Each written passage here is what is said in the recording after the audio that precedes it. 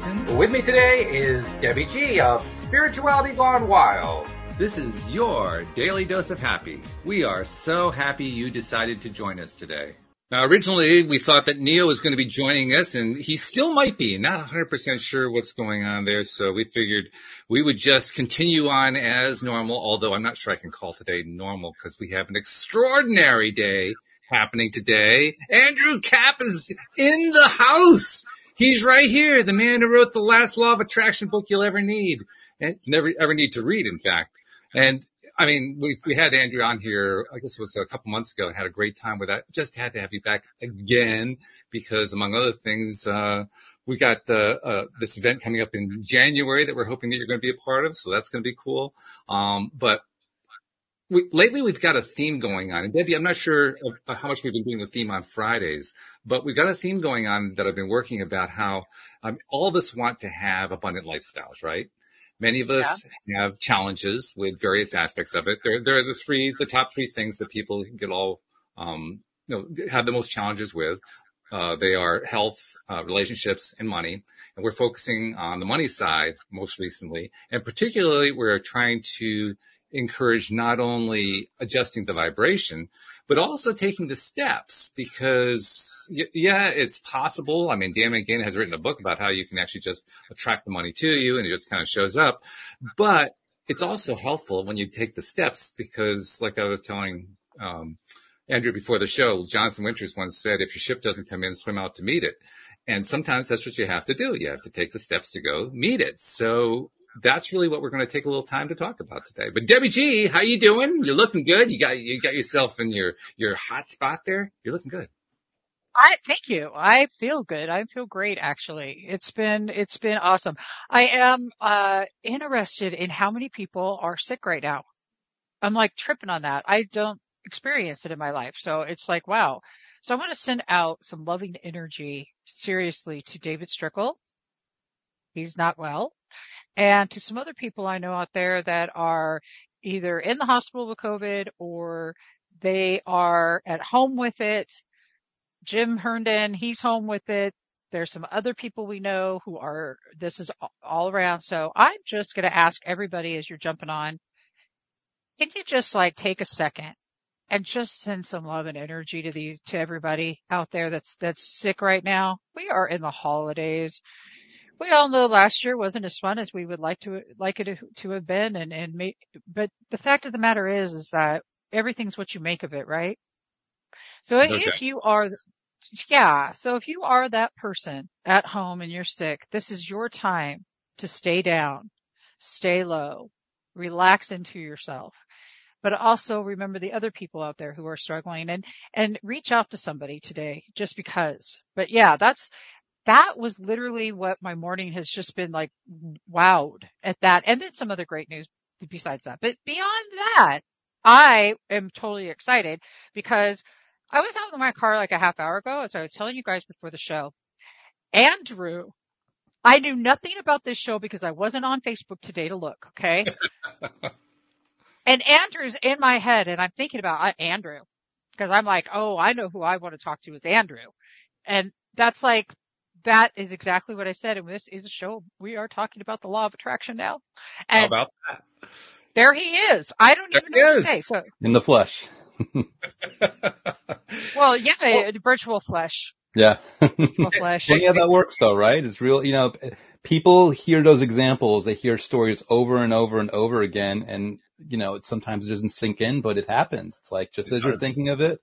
And it almost becomes that question like in the Matrix where the Oracle asks Neo if he would have, you know, crashed the, the, the vase if, if she never mentioned it. It's like, you know, was I in your head first? Were you in my head first? Who knows? But things just happen, right? I love that you even said that, that thought. Were you in my head first or, or how does that work? And I, I honestly, I wonder if it's unison personally. Well, sure. Yeah. That's what I think. We're all one. So it happens all, it's like we're having a phone conversation. Everything's all just connected, right? It is. Andrew, what I got to say, I am honestly, it's so good to see you. And Thank for anybody who doesn't know, Thank you. For anyone out there who does not know who Andrew is, Andrew Kraft wrote a book. There's the book, the last law of attraction book, book, you'll ever read. The book on law of attraction, and it's available right there on Amazon. You have to go get it. Um, you are an Amazon but You are a national, no, you're an international bookseller now, world. So like, you're up there, dude. yeah, I, I, well, it's, it's interesting because we focus on manifesting things and then things come, but sometimes the things that you're not even focusing on come. Meaning when, when I was writing the book, the, the vision was just impact. The vision wasn't a specific number. I mean, obviously I was going for number one bestseller in categories. I'll gladly take that. But the vision was very, um, non-specific. Like right now, uh, well, when the year tops off, I think it'll, it'll, you know, be 85,000 copies in the can. And for me, it's like, all right, awesome. But it's, it's kind of surreal to keep seeing those numbers and keep hearing numbers like that because it was, that was never part of it. It was just impact. So I'm just super grateful that it's been as well received as it has been and that, you know, people are just, you know, really leveraging the content for their own purposes and really getting something out of it. Wow. I, I'm completely loving that so very much. And I just clicked something on my computer. I, I absolutely love this because you put it out there. You didn't sit around. Uh, anybody ever like think that they've got to, they just sit and look at it. It's not growing. Plant a garden, anyone ever? Mm. Why doesn't it grow? Yes. I don't know. Why isn't it growing? I mean, you know, what I, what I heard you say is that you continue to create, you continue to do things, and you've been surprised at how that this is working from the yeah, well, of energy. The, the numbers just are, are, there's something new, and but but to kind of Walt's point about like you know wanting to talk about action today, I'm a I'm a fan of Dan Kennedy. He's a big marketing guy, and okay, the a huge lesson that I learned from him. This was after he had made it. You know, he was a multimillionaire, massive success even after that point, he had a point of doing at least one thing in service to his business every single day. No matter what. Doesn't oh, matter how wow. rich, like how successful. It could be returning yeah. an email, it could be returning a phone call, it could be, he did one thing. And I took that lesson into with this, with every single day since before the book was published, since at least six months before it was published, because I had to write it and I had to do a lot of things. Every single day, I do something in service to the book. This right here is fun for me but it's still me doing yeah. something in service to the book. Every email that I've answered today has been in service to the book, even if I've been like, it's, it isn't something that has to be like work. It doesn't feel like work. Sometimes it is, sometimes it isn't, but whether it is or isn't yeah. is not actually the issue to me. The issue is every single day something is done to put this book out there more for people. So, um, 85,000 copies doesn't come from sitting on the couch. It does come from sitting on the couch, being inspired and then acting on the inspiration. You know, it wasn't out of lackful action. It, it was out of inspired action. So again, I'm, I'm super psyched by the numbers. I'm, I'm like really excited about a hundred thousand because it just, you know, uh, people put so much significance on ones and zeros. Um, i am looking forward to having like a little announcement about that and doing that. But, but overall, every single day is a win and I'm not going to complain one bit. I love this, Absolutely. but did you see what, uh, okay, but you got, how you pointed it out. You pointed out action and you use two different words for that. So say it again. Can somebody that's watching and typing, type this in the chat? You said. Said, well, I basically made a difference between lackful action and inspired. Lackful action. Lackful action and inspired action. That lackful action. So let's talk about that. What's lackful action? Yeah, I mean, for me, lackful actions where you're basically fighting yourself, not realizing you're fighting yourself.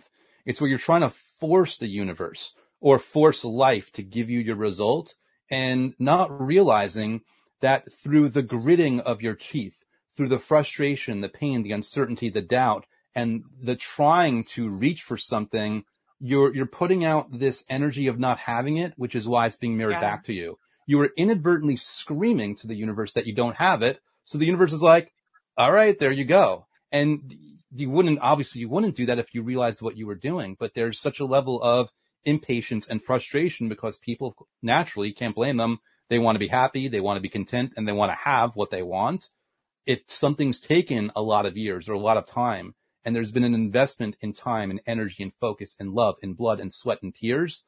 Well, then of course, a lot of people are going to be inadvertently predisposed toward focusing on the fact that they don't have it, thinking that they are engaged in a process of actually inviting it and they're not inviting it and they don't realize it. Well, I'm just going to say that you're speaking to me directly and only. Everybody else watching, he was only talking to me. This is it. Just so you know. um, Innocent well, bystanders.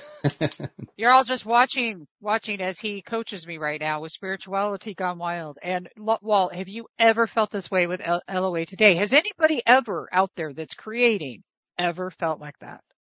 Oh, sure. How many days of the week do you have in mind? so the first thing we're going to do with those days of the week is we're going to do a, we're going to do an inspired action. Mm. Well, let's actually, we're kind of getting ahead of ourselves here. Let's take it back one mm-hmm. step. Okay? okay? No, no, it's valid. It's valid. What, what, your question is a great question, but I want to take it back one step, uh, because I, I think this is probably true for a number of listeners. I know it's going to be true for the broader population. There are many people, I'll say within law of attraction slash conscious creation, conscious creation circles who mm-hmm. want to have abundance and who have thought about trying to do some kind of a business thing, but they were kind of intimidated about it, or they just didn't think they had the skills to do it, or they didn't have the background, um, or they didn't have the time, or they didn't have the money. And uh, there's a long list of things that they didn't have. And so they just kind of hang back it isn't so much that they aren't willing to take the inspired action. It's just that they're kind of afraid of it. There, there's something that's, they've got a block to use the popular term. They've got a block in the way and they don't really feel confident to, to take that first step. But Andrew, when you sat down to write the book, you, you hadn't done that before. You were kind of taking an initial step that you had never done in the face of an unknown that you had no idea. It, it could just completely fall apart you had all the possible fears in front of you, but you chose to go ahead. How did you do that? Well, first of all, in fairness, I had done it before, but it's actually worse that way because I'd done it before and since I'd written books that hadn't done anything. And you won't find them anywhere because I, I authored them synonymously, you know, in, in, different names and just trying different things. So it wasn't even that I didn't have even just the, the, the, uh, the grand, um, blank page, the uncertainty. I'd actually failed already. So I already had the vibration of failure that I was carrying with. And the thing about it is through all that, I, I was inspired. I was, I was very heavily driven where it, it's kind of hard to articulate, but I, there was a level of uncertainty of, of how well the book would do. But what I did not have a level of uncertainty about was the value that I was giving in the book. And that I believe is what fueled it so well because I came up with the title very early, which is a very, think about this. This is a bold, brash title and actually a very poor business decision if you can't back it up. If you can back it up, it's a brilliant decision because people will buy it and they'll, they'll review it well, which fortunately they did. But if it's a horrible book with that title, I'll tell you this, the title will get people to buy. People will buy it and they will read it or they will start to read it. But if I gave them something that wasn't legitimate or lived up to it, the reviews would kill it and then it would vanish. So I was very like I wasn't arrogant, but I was certainly bold in this, but it wasn't just a promise in the title to the reader. It was a challenge to myself and it was an intention where I gave myself permission to do this because when I chose to go in this direction, go into the, I mean, this is the first law of attraction book I've ever written. And when I chose to make this decision, it was with the understanding that it's not even just there's hundreds of books out there. There's like over a thousand, literally, law of attraction books on Amazon, in ebooks, all over the place.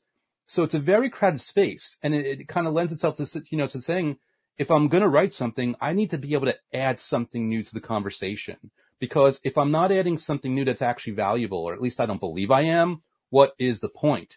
So I, I, I basically, well, without worrying about the sales, I mean, obviously I was taking my own medicine and I was visualizing, I was having gratitude. I was doing all my methods in service to the vision that the book is going to do and have impact. That part notwithstanding, I didn't really worry about how many books it would sell. I was more focused on just making it a great book, knowing that the title was really great title, knowing that the cover was going to draw eyeballs. So if I could only make the book something that really shifted the paradigm and really changed things, all those other pieces would take care of themselves enough to give me enough space to then kind of fuel the fire, meaning do things, do interviews, go on podcasts, do my YouTube channel, like continually do things but do things where there's already a, a leveraging point, where there's already momentum.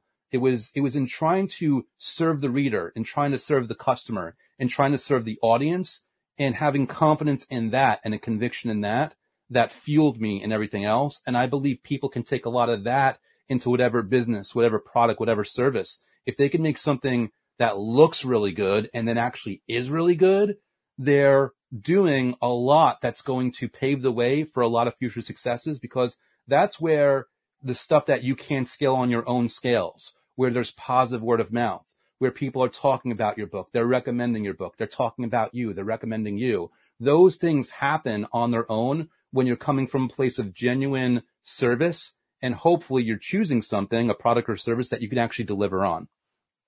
That's good. I love that. And and you made mention a few times of the word bold. You you said you you did something bold, and I want to really hone in on that one because uh, boldness that in and of itself that can be intimidating. I mean that that you're putting yourself out on the lot on a limb there, and you're and you're exposing yourself to the world in a sense.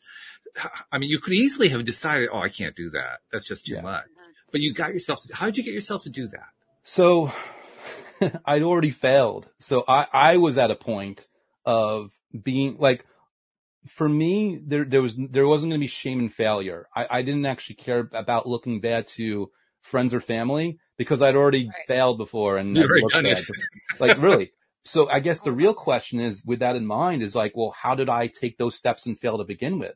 Mm-hmm. And, um, I, for me, I think it came out of the, the pain of past failures where it's like, listen, I've, I've, I've got to do something. I've got to, I've got to take action. And, and you brought something up before where, you know, there's people that they don't even take the inspired action. They just hang back.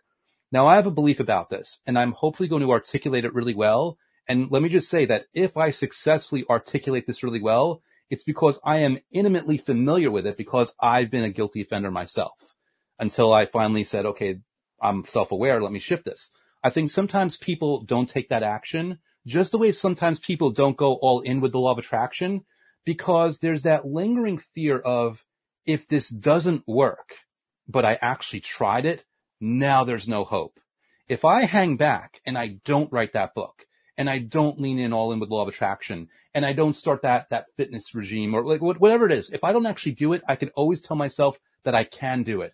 I can, I can rest on the, the possibility that there really is hope and something can happen. Whereas what about that fear of if I do it and then I fail?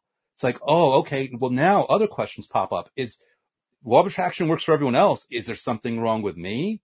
Did mm. I do it wrong? Am I unworthy as I had suspected for decades? Like these are all the things. So a key to all this is in your self awareness of if you're not doing this thing, at least acknowledge it's because you're not scared of failure. You're scared of what the failure means. You're scared that the failure might mean, okay, well, if you're 20 and you live a long life, well, you've got another 70 years of being a failure with no hope.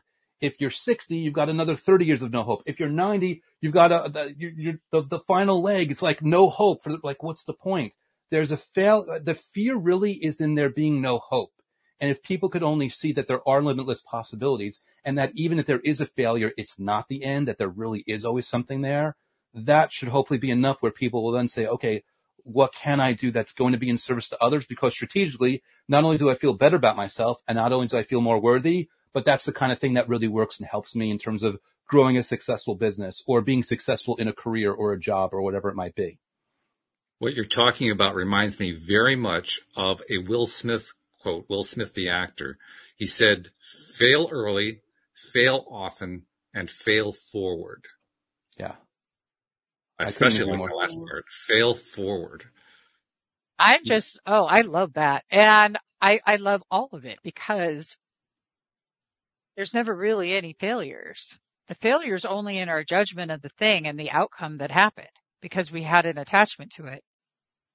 Yeah. You know, and what I love about what you're saying is take, take the uh, pressure off here. There are limitless possibilities if the thing that you tried is it working the way that you've tried it, and I've done this, I have it right now. My whole system with spirituality gone wild, Andrew, is set up on the back end to perform and do this, that, and the other, right? And I had it all in my head and I saw it all and it's not doing what I thought it should do. And is it then a failure? No. It, it probably needs some tweaking and shifting and it's time for a shift. And it's time to get more creative. Cool, man. I created that. I can go, I can level up. So one of the biggest things I heard you say is raise your damn standards. Mm. Yeah. Raise your standards for yourself, for yourself. Raise your standards. And, and also don't, don't put other people that seem like successes on a pedestal as if they're different from you. So like, for example, uh, again, drop the mic. Um, so, so social media. Um, I, I don't complain on social media because I don't want to put that energy out there, but also by virtue of the fact that I don't complain, it's very easy to look at me like, oh, here's my new sales numbers and here's this and here's that. Andrew's life's perfect. Well, no. In fact, even in the process of marketing the book, I failed many times. It's just people don't see those failures because yeah, like 85,000 books by the end of this year. Who's to say that if I did everything the right way, I wouldn't have 400,000 copies sold by now? Maybe I would, maybe I wouldn't, but I, I can look back on things where I tried things and I failed. I'm like, okay, well, that didn't work, but I'm just going to keep going. I'm not going to get down on myself. And at the time, the decisions seemed like, you know, it seemed like a sensible thing to do. It's certainly a sensible thing to try. Why not do it? I mean, it's, again, I, I can fill a book with the mistakes I've made, but in addition to doing that, because I'd made so many mistakes before I ever published a book on other book attempts, I already had a lot of good strategies and a lot of smart decisions that I automatically made in the moment. I already understood, you know, like one thing and, and Amazon doesn't have this functionality anymore. And, here's the, the ironic thing. They discontinued the functionality because it was not being used enough, which, which blows my mind. So the functionality that they had is when someone left a review, you can comment and you can reply. To yes. which you say, okay, well, let's say you're an up and coming author and someone leaves a five star review.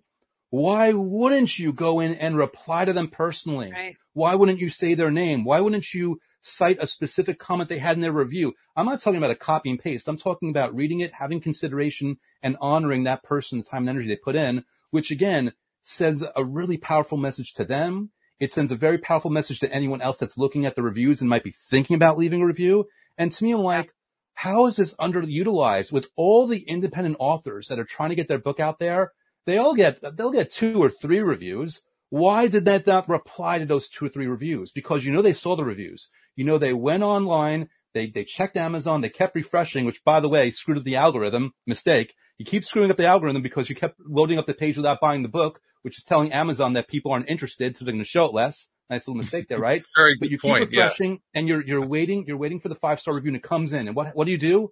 You're like, yeah, honey, get over here. Check this out. Check this out. Is that awesome? And then you get up and you walk away instead of replying to it. And now you can't because the functionality is not there. So that's a mm. perfect example of if, if you if you have the mindset of having gratitude for your customer, having gratitude for your reader, you're going to do things like that. And I gave you an example of something that's no longer possible, but I gave that example because it's so clear and it demonstrates the attitude because that attitude bleeds into things that I still can do. When someone emails me, Hey, Andrew, I know you're a big deal. You sold 8,000 copies. You're probably not replying to you. You probably won't see this. Your staff member's seeing this, but if you ever see this, blah, blah, blah, and then they get a reply from me, they're like, okay, because I care enough to reply. It's not, I, I don't want to look like I care enough to reply. I actually care enough to reply. That's why I chose to write this book. That's why I chose to go down this road. I could have written other books. I know a lot of, I like to, I mean, I could be wrong, but I like to think that I know a lot of things about a lot of other things, but those other things don't interest me in the sense that I'm going to be excited about engaging with readers, excited about talking about the content. That's another thing. Excited, excitement, inspired action, excitement. Isn't it funny how those kind of fit together? The thing about that, that thing that you're scared to do, well, you want to ask yourself, is part of that fear excitement that's misidentified? That's another question to ask yourself. But even so, there's a, at least some of it in there. But, but when you finally take the plunge, there, there should be excitement. There should be enthusiasm. There should be like, oh my, I'm into this. I'm ready for this. And all those things. I mean, this, this to me is what bleeds into the action that leads to results, even if the action you're taking right now doesn't lead to the results that you're expecting. Because the investment you make in, the investment I made in all those other books is the, the seeds and the flowers are blooming right now with this one. But I, I started succeeding with this book with the very first word that I wrote on the very first book years ago, years ago, because it's all an investment. It's a vibrational investment. It's a consciousness investment. It's a blood, sweat and tears investment. It's a love investment. It's all those things and it all manifests. And you put something in certain, certain ways, something else will come back in a completely different way that you weren't even expecting. But that's the beauty. Since you can't anticipate it, just be present and be intentional every single day and then invite it to happen for you. Oh, I love this. I love it. I love especially how you took failing because you talked about how you failed many times. And in the course of a beautiful monologue, you turned it into success during the monologue, during the presentation. I love that. That's fabulous. And in fact, uh, when you were talking about the failing part, it reminded me of a Bill Gates quote. And I don't remember the exact quote, so I'm going to have to paraphrase it. But the gist of it is everybody loves success. It's so easy and so much fun to, to have success, but you don't learn anything from it. The only thing you mm. ever learn from is failure. And I got the sense that's exactly what you were talking about. All yeah. the stuff that you learned each time that you failed. And, and all those overnight successes, they only look like overnight successes. People, mm. the, the, if you call 10 years an overnight success, I guess your people are, are an overnight success, right? In my case, 20 years. And, and by the way, it wasn't 20 years of failure. I, I also don't want to make it like this false impression like I failed for 20 years. No, I had ups and downs. I had, I had wins and losses. I learned across the way. I had, I had massive victories in the middle of it all, but I also made mistakes because I was willing to experiment and willing to try. I think people believe that they have this impression that success and or failure are both linear and that it's, it's mm. almost like a straight line. Like life is not linear. Life is not a straight line. It only seems like that. We have a, a sense of, of temporal movement as if it, you know, but it, it doesn't really always work that way. We just don't have the senses in our physical bodies to perceive what's really going on all the time. Wow. Oof. Love that. Absolutely love that. I, okay. I'm loving it. Can I, can I jump in? I, I jump in. To. Yeah, go ahead. Well, because there's a couple of other things that you were talking about that I want you to, uh, to expand on. And Walt brought up one word and it was bold. The other word is courageous. And you said, I don't want to come across arrogant. And there was something really important there. And the reason why is because confidence and arrogance are definitely not one and the same. Hmm. What happens is, is that society has been geared to think that confidence is arrogance. However, I'd like to beg to differ because it's not. My confidence that I have today is the knowingness that just is, period. I don't waver from it. It just is. I speak my truth. And if speaking our truth is arrogant, well then call it what the hell it is. I don't care. call it what it is. Fact of the matter is, is that without bold, being bold and confident, you can't, stepping forward into an inspired action would be really tough. So I am really curious. How have you became bold and confident?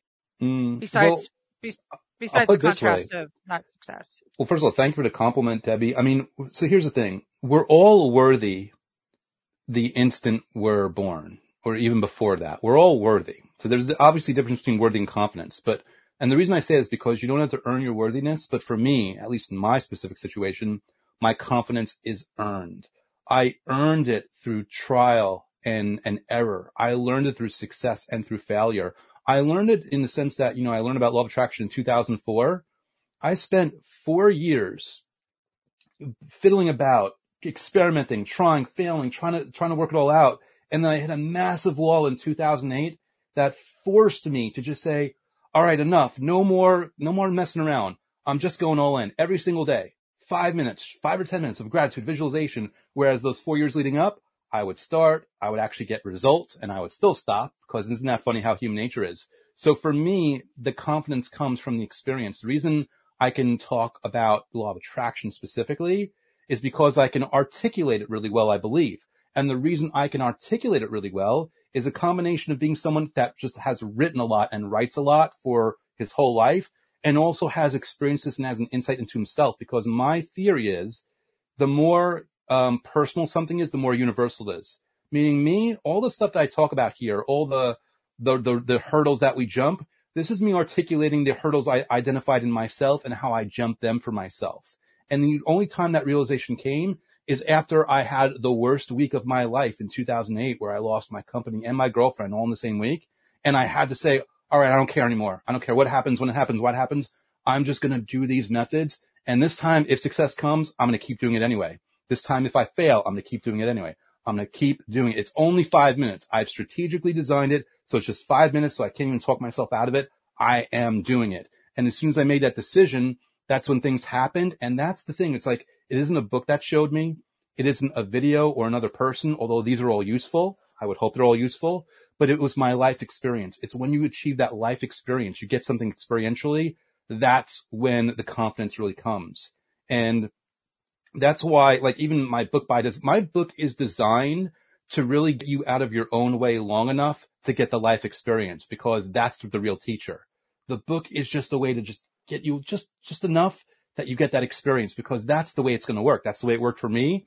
And that's the experience and result that I want to achieve for my readers. That's the hope. That's the, the goal. So confidence comes from the fact that I pushed hard enough and I went through enough to have enough of a deep insight for myself that I just understand where the different roads lead. The road of sticking with something, the road of deviating, the road of hope, the road of despair. I understand where they all lead in my own life. Therefore, I have enough confidence to articulate it in a certain context. In this case, law of attraction. Oh, I love this. I, love the way that you uh, delved in, Debbie, uh, had, had him delve into the courageous concept because it's it's similar to but different from the boldness, and both of them have a very similar antonym to them. They both are kind of the opposite of timidity. And I wanted to, to, have you just talk about timidity for a minute, Andrew, because I think we are timid, particularly when we're thinking about doing something that we are going to take authorship of, not just a yeah. book, but we take authorship of anything in our lives. Timidity can, can almost be our, our enemy in a sense. And how do we overcome the timidity?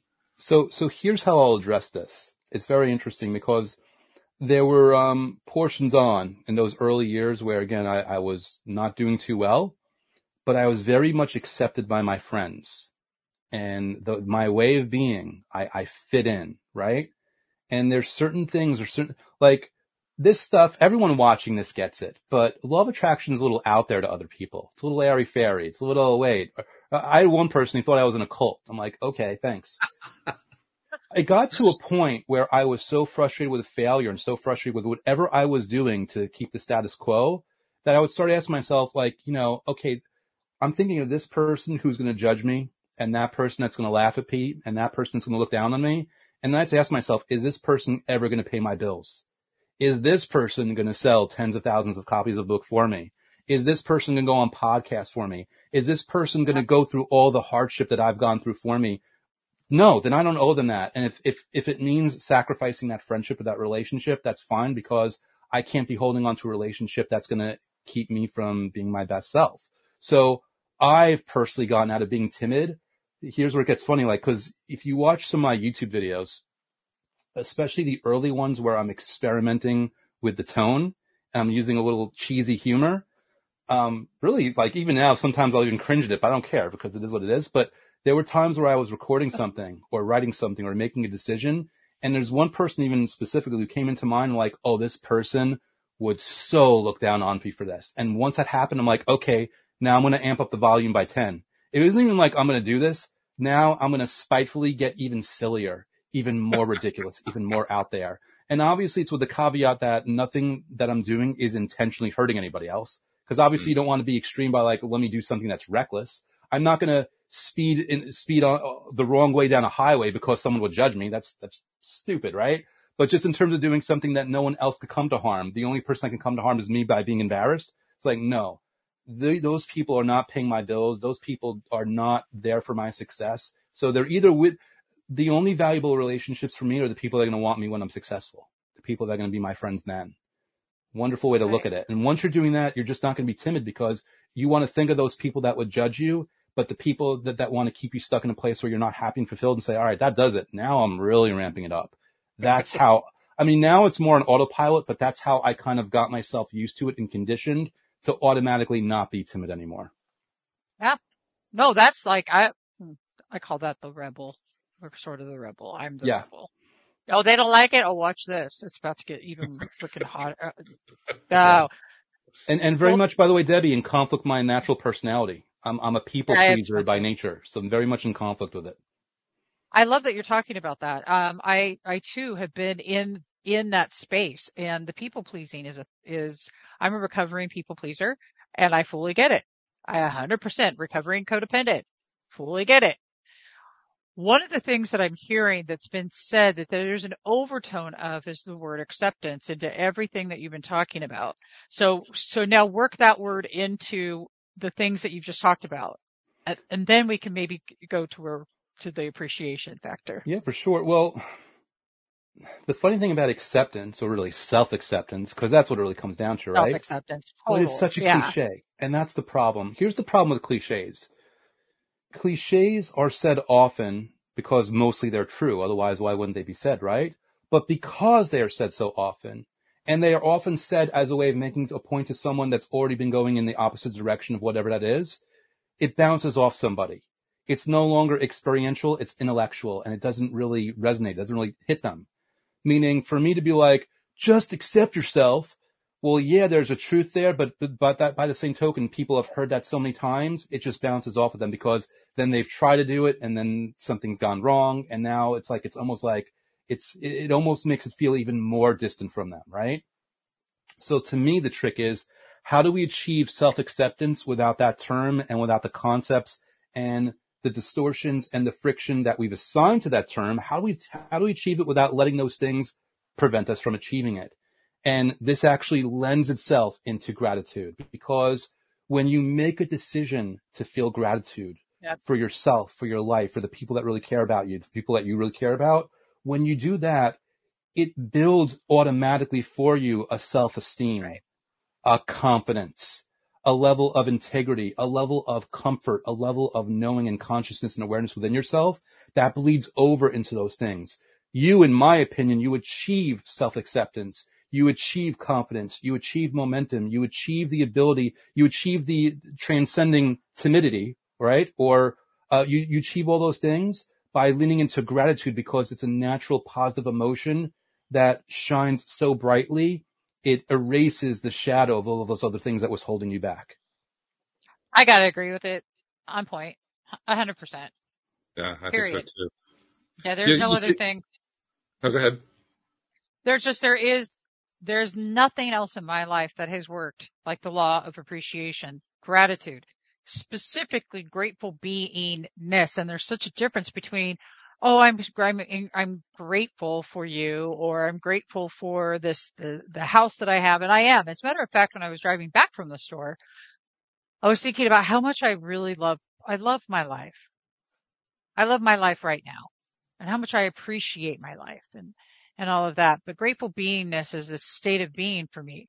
And I'd like for you to expand on gratitude and what that, that really, what are the, what's the difference between being in gratitude and grateful beingness? Hmm. Well, it's interesting because I'm having an interpretation of that, but, but one sounds to me where you're taking a conscious, um, focus or action toward it, whereas the other one is just, it's, it's, it's naturally occurring for you without you focusing on it. Not that they're, they're mutually ex- exclusive. Um, but, but for me, I think when you lean in a direction and try to focus on gratitude and, and do it authentically, like pick things that you could actually be excited about, that helps you condition yourself and make you more predisposed towards being that automatic person that just is in the state of gratitude and state of appreciation on autopilot. And it doesn't mean that you stop focusing. I mean, in my opinion, you focus every day, if even for just five minutes, but it just means that the more you do that, the more you have those, those five minute sessions every day focusing, the more momentum you carry through for the rest of your day where it's just natural and easier for you just to be in a sense of appreciation. And because I've been such a chatterbox already and been giving you long-winded answers today, um, to give you like a really cool example, um, I, I'm going to be careful with the details because I don't even want to activate this too too distinctly. But I made um, a, a really large purchase today, and then I got an email that put into question like what I bought and all this stuff. It was just really annoying. It's like, oh, you know, there's something where like we're I'm, we're I'm, we're all better than this. You're better than this. I'm better than this. But I just got really like upset. I'm watching my language. I'm not sure where we can go on this, but I got really upset. So in the middle of all that, um, a message comes through um, on Facebook, and it's a video. And the person says, "We just want to thank you." And I click on the video, and I'll be careful with the details because um, some of them were intimate details. But it was a reader of mine who who manifested the love of her life and manifested all these amazing changes. And she was thanking my book. She's like she'd read other books before. I feel like I'm giving myself a review here, but this is what she said. She'd, she'd read other books before and, you know, she had such horrible situations. She wished she'd found mine sooner, but she found mine and she's, she's on cloud nine and her fiance, her now her fiance, they've got this really thriving business, like all these things. And it just, it, it erased that frustration that I was just experiencing. And the reason I'm bringing this up is this is what momentum is about. It's not about having a perfect life. It's about intentionally installing enough momentum where when something really annoys you, there's something waiting for you on the back end. There's good news. There's something that's going to fill you with more genuine appreciation and happiness because the timing of that video, it was just when I hung up with customer service, like literally like within 30 seconds. And I'm just like, I am, I'm hot. I'm steaming. And then that, that comes in and it changed, it put everything in perspective for me. These are the things that happen. Your, your life's not perfect, but, but whereas I could have in another time, in another day, really been just upset all day, which would have fueled a lot of negative energy and a lot of negative momentum, which would have bled over into the next day. Instead, boom, pattern interrupt because you've earned this, Andrew, because you vibrationally invested enough gratitude every single day that these things will come and stop you in your tracks before you do something bad, before you do something really stupid and really, um, deconstruct, like, you know, destructive to, to your life and to your path. Oh, love that. I love how the universe, right? The universe just shows up. I actually had this happen this morning. I swear to God. In a different way though. I wasn't really, it was more like when I question myself, the universe shows me up and gives me, oh, gives me some sort of confirmation. Why are you questioning yourself? Hmm. I have that momentum. I have the momentum of reminders of, you know better than this. Oh yeah, that's right. I got a message from Kirk Nurmi. He said, Debbie G, who do you want to be today? Ooh. And I sat back and went, oh, you're so good, dude. Like so good. so good, universe. So good. And, and, you know, went on to say like, because he's going to come back in the new year to be, to, for an interview. Let me tell you, Kirk's next level. Your next level. You know what I'm saying? And this is what I sat there and thought to myself was, gotta level up. You gotta raise the bar, raise the standards. We love, I love to raise the bar because it's like, it's a game. It's like so much freaking fun, man. You know, and how do you raise the bar? Gratitude. It's the G vibe. It's that thing. It's that thing. And that grateful beingness, you're right. It is that state of being because you just are. But dude, isn't it rad? And I love the way you're putting it that you have this momentum out there so that when you need it, it shows up for you. I hope you all are catching this. Please type into the chat. I want to know what you are, what your takeaways are. And also we're going to put the link to the book into the chat momentarily. I'll be right there with it. Andrew, you're sparking my G vibe, man. Like totally. That's by the way, that's your gratitude vibration. If anybody's thinking anything funny, haha, silly. Mm. Seriously. This is some cool, sh- cool shit, man. Walt. Thank you. Absolutely. No doubt about it. Uh, something else that you mentioned too, Andrew, that I wanted to point to. You talked about how, um, previously in your circle of friends, you, you kind of did some pruning. You said, some of these friends aren't really serving me the way I need them to. So I'm going to I'm going to make some changes. I'm going to shift who I'm spending my time with, giving my attention with. And I wanted to hone in on that because the positive psychologist Shawn Achor makes the point that social connectedness is the number one predictor, number one predictor of one's success in life ahead mm. of everything else ahead of whatever degrees you have, what you've studied, whether you go into business, what you do for a living, you know, how well you did uh, in building the business, um, what, how well you've done with your relation. I mean, it is the number one predictor. And it's, it's literally predictive 75 or 70% of the time. And to give you a contrast of, uh, to, to kind of give it a context, the, the relationship between smoking and getting cancer if you smoke cigarettes continuously, you have a 45% chance of getting cancer. You have a 70% chance of being successful if you have the right circle of friends around you. Mm. So I really mm. wanted to hone in on just how valuable that, that was a big important shift you made. How did you do that? What, how did you decide, wow, I got to do this? You know, I, I wish I could put words to it other than I was just sick and tired of being sick and tired. It, it got mm-hmm. to like, I mean, I got to a point where I had a recognition. I basically was able to look back on enough years in a situation where like to understand that, okay, if I'm doing this, then I have this to look forward to. And I, I just made a choice. I chose something different. And it's interesting because, you know, I, I couldn't agree more about, you know, the, the people you surround yourself with it's even more dynamic than, than many people realize though, because for me, it's not just about surrounding yourself with successful people. It's about surrounding yourself with successful people that want you to succeed. And what I mean by that is sometimes you could surround yourself with successful people that have the a whole codependent where they want someone less than them. They want someone held down. So part of it's where they're, they're, they'll either even subconsciously or with subtlety, they'll, they'll hold their success over the other person's head as in, this is mine and never and can never be yours. So it really becomes a piece of it's it's not I mean, and I'm not saying you didn't say this, but just for people that might be misinterpreting, it's not just about success in its in and of itself, but it's the attitude that's backed through the success. Because some people are successful and miserable, whereas other people are successful and thriving. And I, I would encourage people, if you could do it in person, fine, but until you can find the right people in person, even though that is priceless, that's the beauty of going online. That's the beauty of, of watching interviews. That's the beauty of watching videos and, and listening to, you know, to audios or whatever it might be. Even though it's not in person, you are finding ways of surrounding yourself with that energy, with that consciousness, with that intention. And that's going to carry you a certain along the way until there'll come a point, obviously, because you will be so high up where you'll naturally be meeting people in person as well that will do that for you. Mm. Wow. Very, very well said. That's, I love that. It's the truth.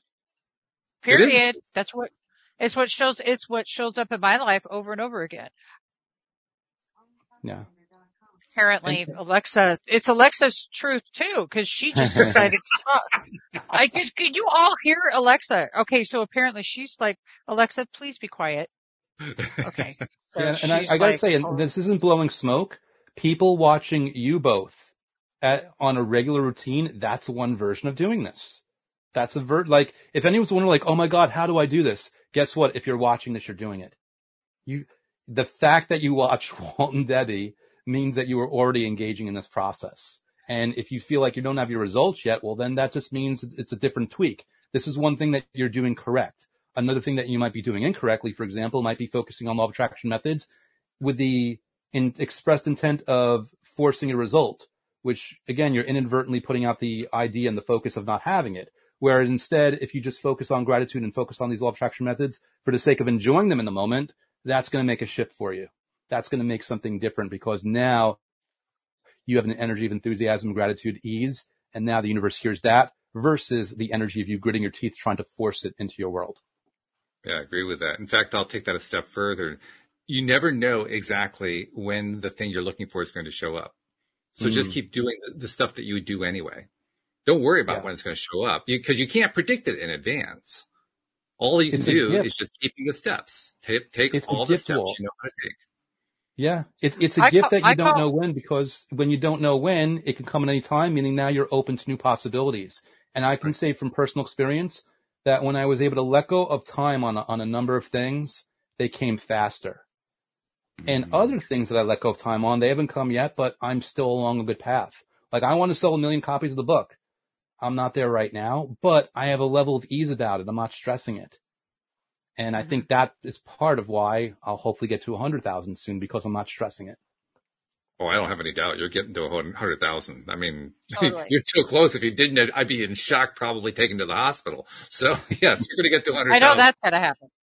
well, I, you know, and everybody, I posted the, the link to go purchase the book into the chat. And then also a really great quote from the book, which is feeling good about anything puts you in the receiving mode for everything you want. As long as you don't then slow it down by thinking contradicting thoughts about the thing that you want, which I thought was great. Exactly. Don't rush it. The other thing is that I've been hearing is an overtone of what I call the sacred yes which is what Walt is doing. It's what I'm doing. It's what you're doing, Andrew. It's that sacred yes. It's the call from the universe to show up and share. That's it. With no expectation, you're doing it because you're giving something to somebody that, that that's going to help them. You're being of service first and foremost before you're doing anything else. You're being of service. And anybody that's had that sacred yes out there knows that being of service is what this is truly about. The af- the effects of this are what Andrew is, is reaping right now. Yeah. Yep, that's true. And, and, the other thing too is when you're doing that service, it feels good.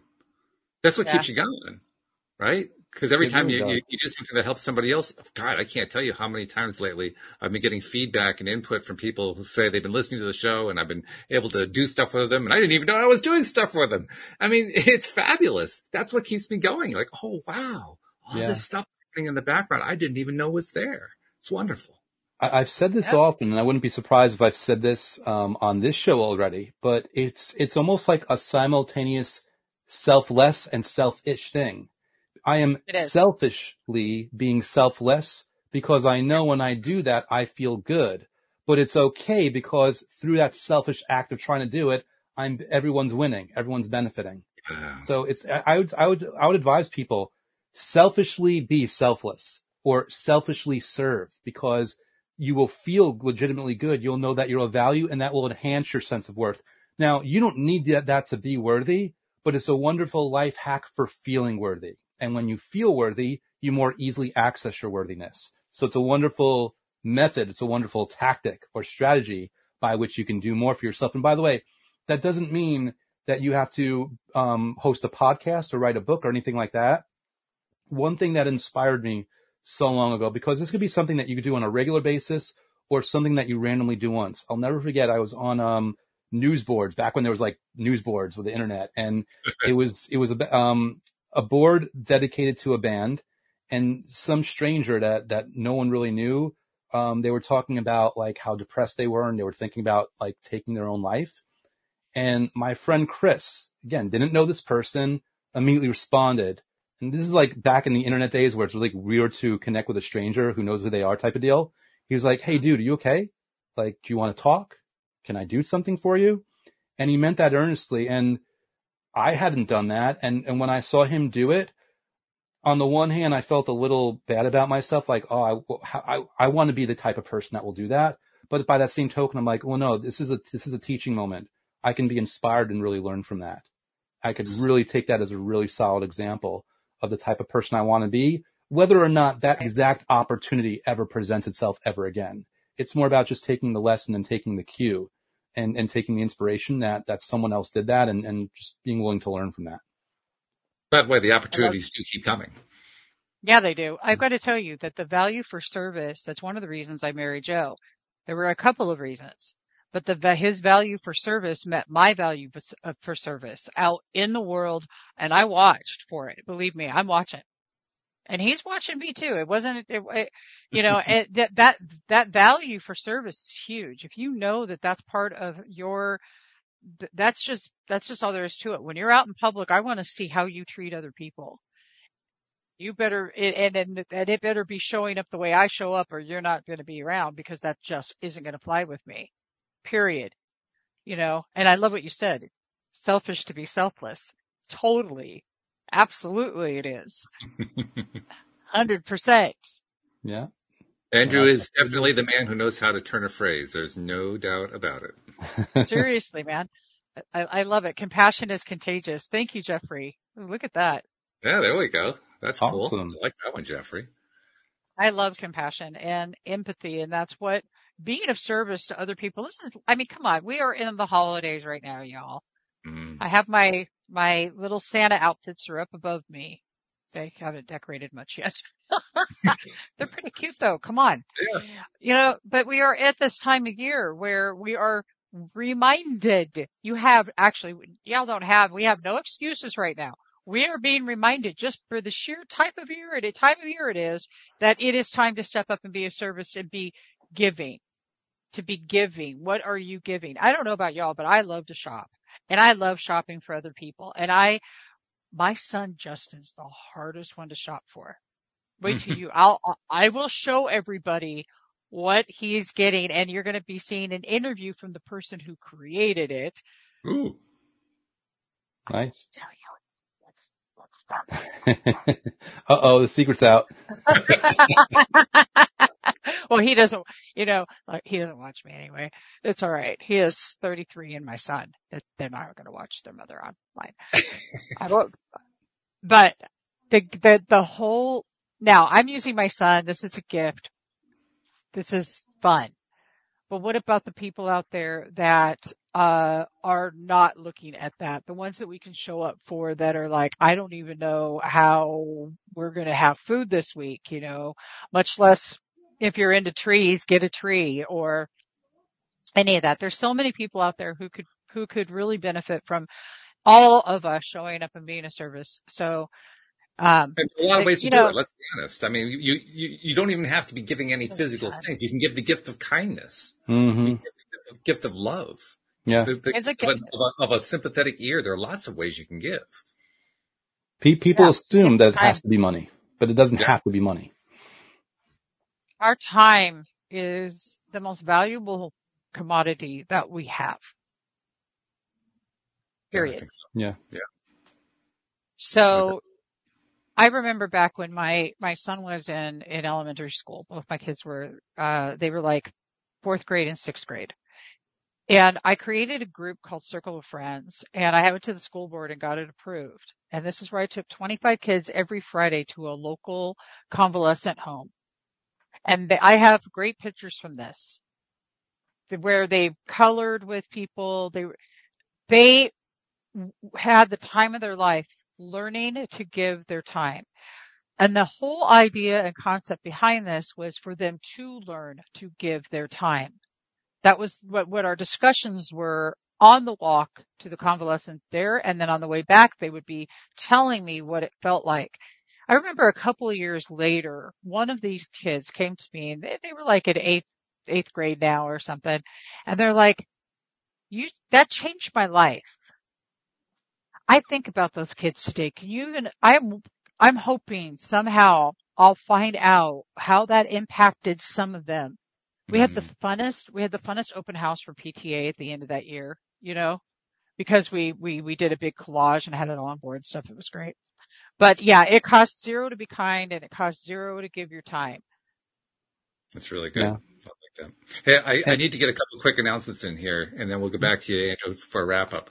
Um, but we got a number of guests coming up next week, and I want to let people know about that, particularly those who like to listen to the live stream. First of all, on Monday, Selena Dorsey is going to be in the house talking about her experience with her businesses that she started up over the years and how she got started and what kinds of, uh, you know, thought processes she went through. And then on Tuesday, we got Luke Bertazza, who's part of the TIA community. He's now, I, I believe he's on his way to becoming a coach. He's a mentor there.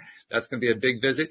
Thursday, Donna Ferguson is going to be joining us. In fact, Neil's going to make Oh, a, special trip over to. Thursday to join us on that one. And then Friday, we got Doug Vermeeren. Doug Vermeeren is an entrepreneur. He is the creator of the six minute workday. I mean, we are chock loaded with interviews that are going to be really great next week. So just want to give everybody a heads up about that stuff. But right now, I got to thank Andrew for taking the time as he so generously does so often. Can't leave the show before you tell people about how to find the book, how to find Andrew Kap, how to find everything that needs to be found. Also, well, first of all, well, thanks, well, and Debbie, thank you as always for both being so welcoming and, you know, you, you always pull, like me, you pull inspiration out of me where I like, I, I can't believe I'm saying this stuff. So thank you for that. Um, finding the book's pretty easy. If you go to lastlawofattractionbook.com, that'll forward to the Amazon listing and it's, you know, Amazon Audible, it's, it's a paperback, it's a hardcover, it's Kindle, it's audiobook, any of those things. But if you don't want to pull out your wallet, that's cool also. You can very easily go to youtube.com slash Andrew Kap. That's K-A-P. And, um, I've got over a hundred videos there and, and hopefully those will serve you, whether you get the book or whether you watch YouTube, uh, channel videos.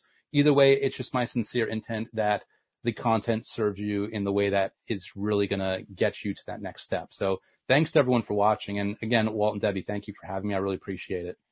Thank Debbie G, you, you. you get the last word today. You get to, to give us the, the send off. So what's the, the last thought to give to people as we close off for the day?